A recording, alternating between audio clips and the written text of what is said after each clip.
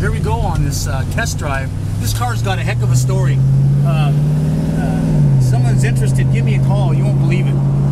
It's a real big block SS car. It was used as a donor car for a big block SS convertible. And they literally swapped motor, tranny, dash, everything. Beautiful paint, a good running motor. It's a factory air car. If you got a big block laying around that's worth having, and you get order a dash for it, you really have something.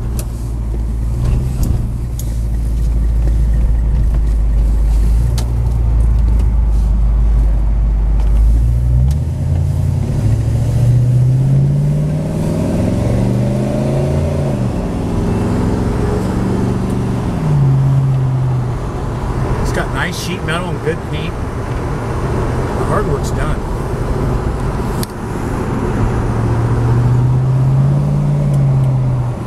Runs good. Runs good. I can even give you the phone number to the guy that did it.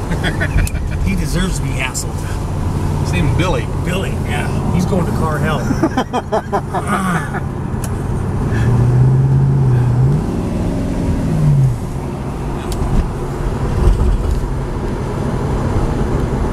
Well, it's a nice running car.